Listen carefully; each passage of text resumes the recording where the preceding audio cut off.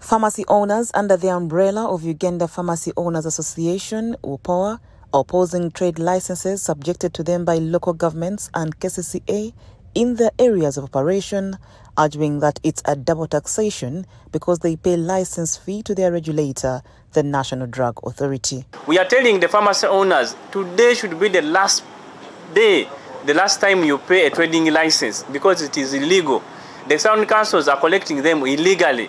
So please do not pay these trading license fees. We are only supposed to pay to NDA. Calling upon the public, we are calling upon the pharmacy owners to come and join us and fight this cause of bringing up our, our views and our our, our, our, our grievances so that the Farmers' Owners Association is entrenched in government policy, government regulations, and that we see that the cost of medicine becomes affordable to that poor person, the person at the root, at the real uh, deep end of Uganda. Deo Kalikumutima, the newly elected chairperson of the association, has vowed to challenge the government on this tax, noting that although it was declared illegal by the High Court of Uganda, Kampala Capital City Authority, district and other local governments have continued harassing pharmacy owners with this tax.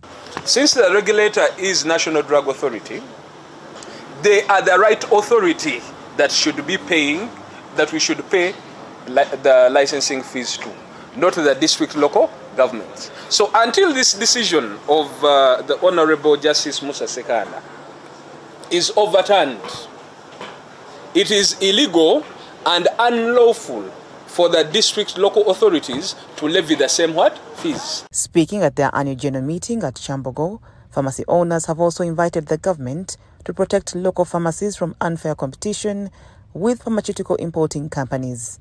They want importers to be restricted from doing retail business. These importers own manufacturing facilities in India and then they are importing and then they are distributing and then they are wholesaling and retailing to the last person.